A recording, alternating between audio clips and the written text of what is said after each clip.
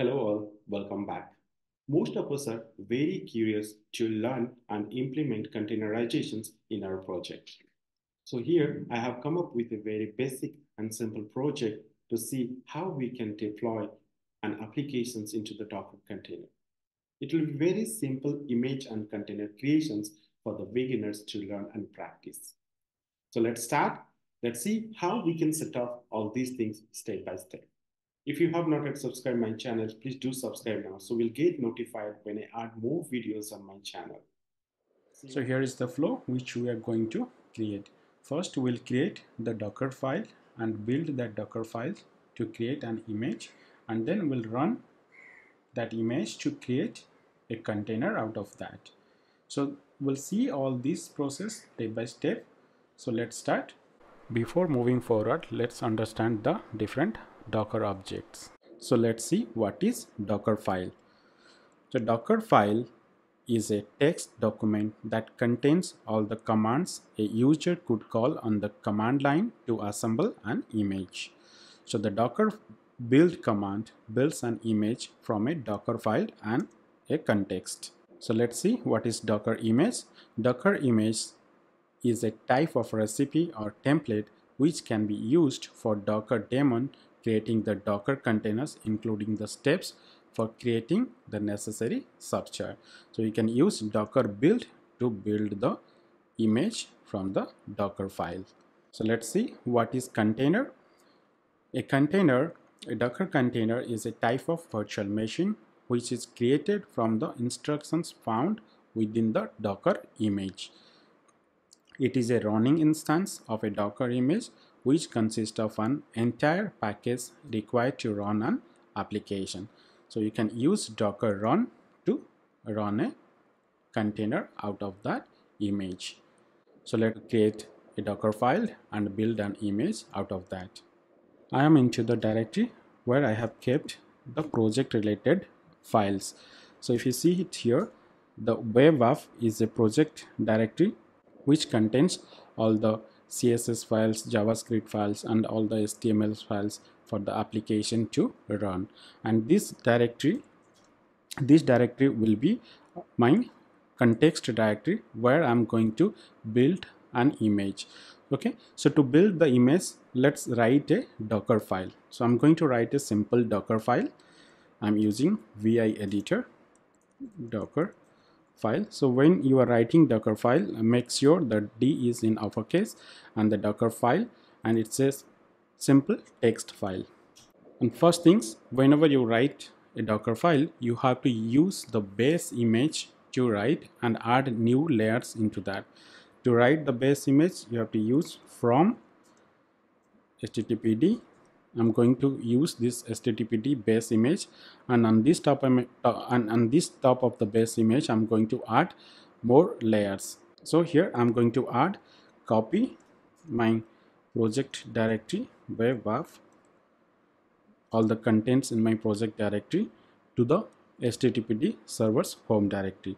So that is user local apache 2 then st docs so if, if you have some experience or knowledge on httpd server apache httpd server you may be aware like htdocs is the working directory of apache server so it contains all the html files and the, the starting point of your application. Like it contains all your html file javascript css everything will be stored into this htdocs then when you uh, when you start the server and application it will uh, it will get the it will get the application file from this folder. Okay so next i'm going to add as a working directory. So i'll make the htdocs is my working directory so this working directory will be our when we spin up the container this will be our working directory.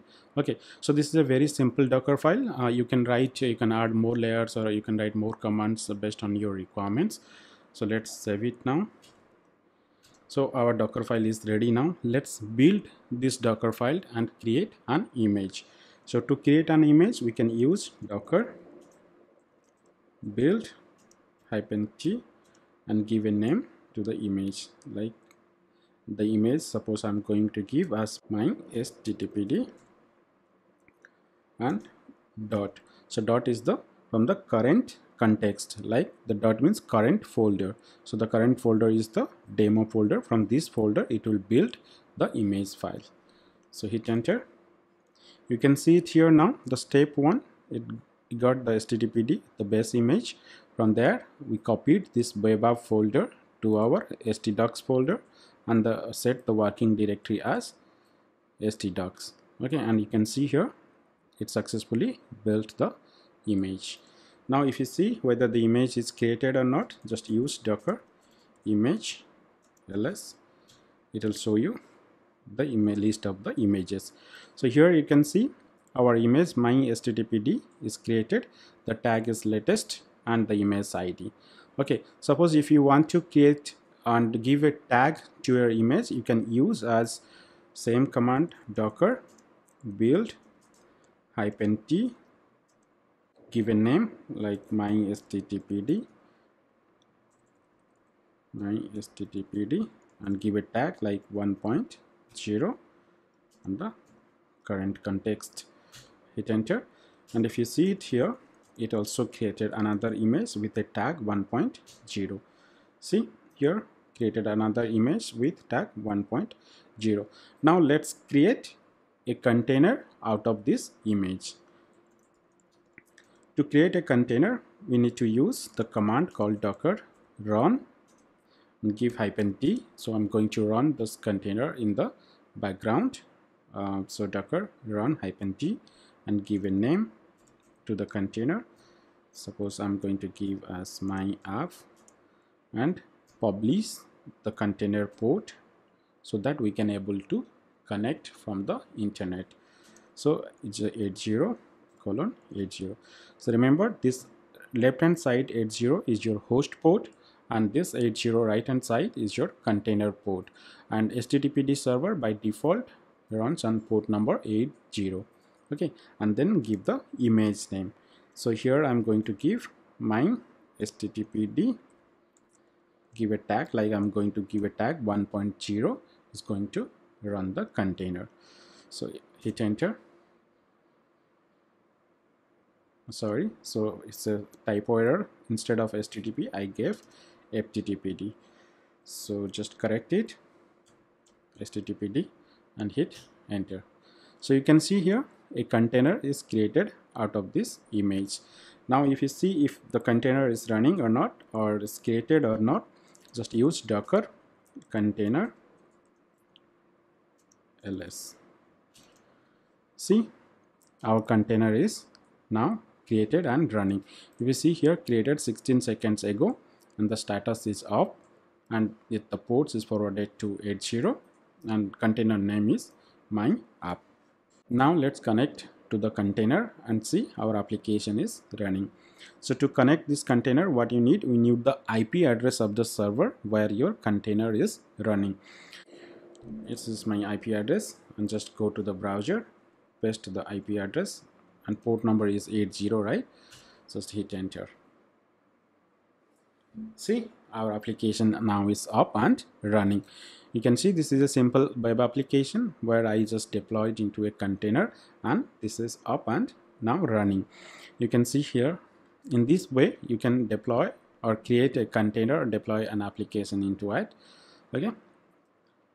Now what do we do? Let's create another container out of the same image and we'll see and this time we'll uh, publish the port to a different port let's let's do that. This time I'm going to create another container. Docker. Run hyphen t and just give a name to the container. Name. My app. Suppose I'm going to give as a new name app1 so remember you cannot give the same name as the previously running container. It will throw error because the container is already running with the same name. So I've just gave a different name to that my app1 and publish the port. So as this as previously the port is already published with the host port 80 so we have to now give a different port. Give 82 80 and make sure you have given a security group uh, you have given appropriate access to this port number 82 okay the firewall access is opened for this 82 port. Now give the image name. Httpd 1.0 hit enter. Okay another container also created. So let's see how many containers are now running. Docker container ls we have now two containers running. One is my app and the other one is my app one. And it's created nine seconds ago. So let's connect to this second container. How you will connect? Just go to your browser. Okay copy the ip address of your uh, of your server where container is running. Just paste it here. Okay. Instead of 80 you have to put 82 if you hit enter see? Now the second container also up and running. So in this way you can run multiple containers from the image. So in this lecture we learned how to build the docker file and create an image and how we can create container out of that image file and how we deploy the applications into different or into multiple containers so be tuned. I'm going to add more lectures and more uh, projects on this docker i'm going to create uh, multiple images and uh, we'll create multiple versions of the images and we'll try to add new layers into that and create multiple um, uh, multiple containers and running and also i'll show you how we can use docker compose to create multiple container and link the containers with each other okay? Uh, so thanks for watching till end. Uh, if you have not subscribed my channel please do subscribe so that you will get notified when i add more videos on this docker and docker compose if you have any doubt or any questions please do comment me in the comment section below. I'll try to answer your questions. Thank you